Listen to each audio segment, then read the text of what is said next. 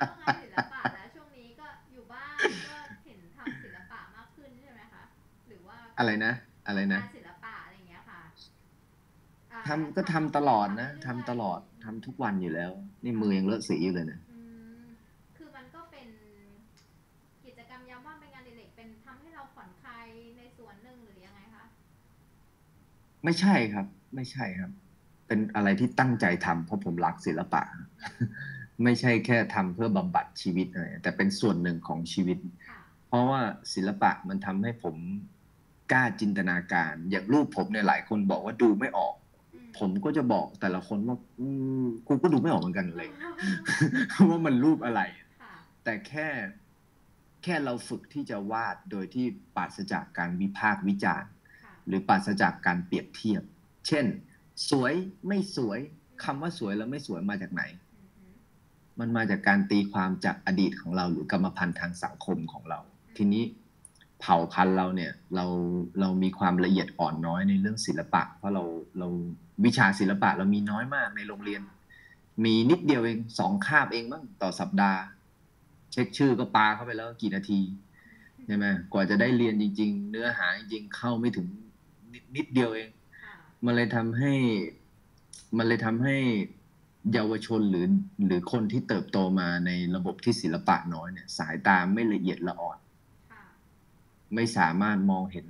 รายละเอียดปลีกย่อยได้ นี่ก็เลยกลายเป็นสาเหตุที่คนเราด่วนสรุปไวขึ้นอืมเพราะว่าเราไม่สามารถสาวไปถึงเหตุผลได้ ว่าเอ้ยก่อนหน้านี้มันคืออะไรก่อนหน้านี้คืออะไรก่อนหน้านี้คืออะไร แต่ศิลปะเนี่ยมันทำให้ผมเห็นใจที่มันกำลังจะสรุปอืมเวลาที่เราวาดเสร็จเรากำลังจะสรุปว่าไอ้ยอันนี้สวย อันนี้ไม่สวย จิตมันเลยสอนจิตว่าแบบ ไอ้สวยแล้วไม่สวยมาจากไหนอืมมันก็ประเมินค่ากันเองอะไรอย่างเงี้ยอืมอืมเพราะฉะนั้นเวลาทำงานศิลปะมันจึงเป็นช่วงเวลาของการฝึกจิตใจล้วนๆเลย ผมยกตัวอย่างง่าย ๆ มันมีเฟรมใหญ่อยู่เฟรมหนึ่งใช่ไหมถ้าสมมุติผมใช้เฟรมใหญ่ แต่ผมใช้ผู้กันเล็ก ธรรมชาติจะสอนผมทันทีเลยว่า อุปกรณ์ไม่เหมาะอืมกับการงานค่ะเช่นเดียวกันมันก็สอนผมเวลาทำงานใหญ่เหมือนกัน ถ้าทำงานใหญ่แล้วมัวแต่ใช้ความคิดเล็กคิดน้อยอืมงานใหญ่ไม่กระเตื้องหรอกอืมปแต่ระละมาณนั้นแต่ละชิ้นที่เราทำตอนนี้ใช้ใช้เวลานานไหมคะ หรือว่ามันก็คือสมาธิปล่อยใจไปตามอารมณ์ณตอนนั้นหรือยังไงคะแล้วแต่งานบางงานก็มีคอนเซปต์มีการคิดคำนึงมาก่อนเป็นเป็นเดือนเป็นปี บางงานก็เอาสนุกค่ะ บางงานก็ตั้งใจทำอย่างที่เปิดแกลเลอรี่ไปอันนั้นก็ตั้งใจทำให้มันเป็นคอลเลกชันเดียวอืมกลุ่มธีมทั้งหมดอะไรอย่างเงี้ยอย่างงานที่เพิ่งทำเมื่อวานก็จะเป็นงานที่ทำเอาสนุก อืมอืมออกกำลังกายไปด้วย พอพักเสร็จพอพักเสร็จก็มาวาดหนึ่งทีค่ะ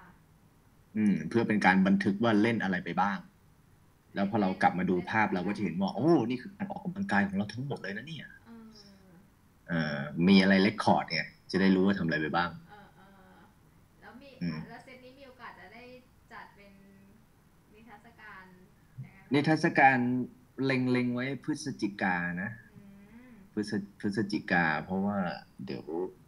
รอให้อะไรมันซากว่านี้ก่อนค่ะแล้วเดี๋ยวถึงจะเริ่มคอลเลกชันใหม่อืมเพราะวาดทีผมผมหายไปไม่ยุ่งกับใครเป็นแบบสามสิบสี่สิบวันนี่